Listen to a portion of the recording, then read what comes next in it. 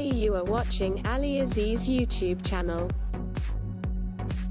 Top 10 front-end developer interview questions and answers for fresh and experienced candidates. 1. Who is front-end developer?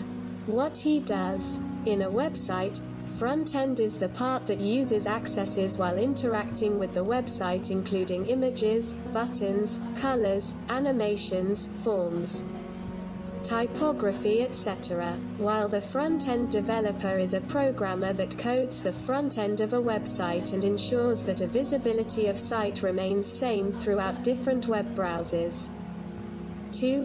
What are the skills required? The skills required for the front-end developer includes HTML, CSS, JavaScript, jQuery additional skills. Some additional skills that might be helpful will be knowledge of cross-browser testing knowledge of CMS like WordPress, Joomla or Drupal knowledge of PHP and OOPs, object-oriented programming, knowledge of SEO, and tools like Flash and Dreamweaver.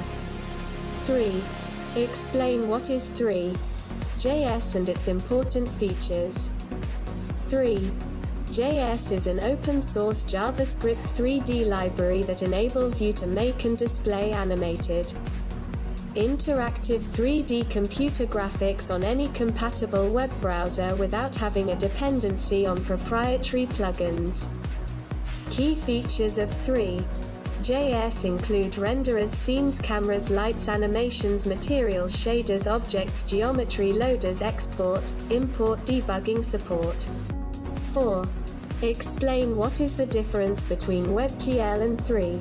JS. WebGL WebGL allows you to control the GPU in more direct way it is more an immediate mode, it does not have additional support for text. For shaders built, for picking, etc. 3. JS3 JS is built on top of WebGL and allows you to take care of lot of things like what objects to draw each frame it is more a retained mode, it does have an additional support for text for picking, for object hierarchy, etc. 5. Explain what is CoffeeScript. CoffeeScript is a small programming language that compiles into JavaScript. It helps to write JavaScript code better by providing you with a more consistent syntax and avoiding the irregular nature of JavaScript language. The basic rule for CoffeeScript whitespace matters.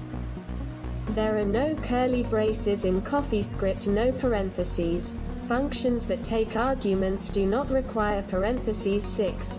What are the benefits of CoffeeScript over JavaScript? CoffeeScript allows you to express your program with a lot less code than JavaScript. It has a lot of lightweight add-ons like Ruby string interpolation and Python-style list comprehension makes everyday tasks easier to perform with CoffeeScript rather than JavaScript 7, how variables differ in CoffeeScript than JavaScript. For variables in JavaScript, you have to add semicolon at the end of it to execute while in CoffeeScript there is no need to add semicolon at the end of the statement.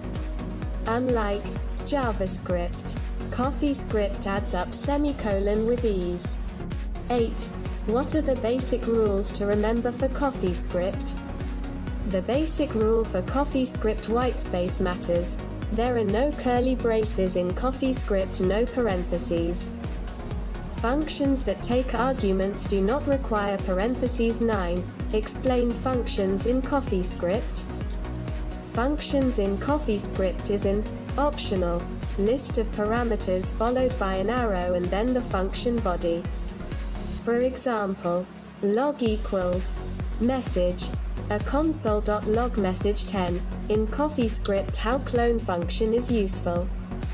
Clone function is useful in creating a complete new object in CoffeeScript by copying all attributes from the source object to the new object repeating the steps of copying attributes from the source object for all sub-objects by calling the clone function creating a new object as the source object. Thank you for watching my video I hope you will learn well and request to you please support my YouTube channel. Click subscription button and bell icon for watching my upcoming videos.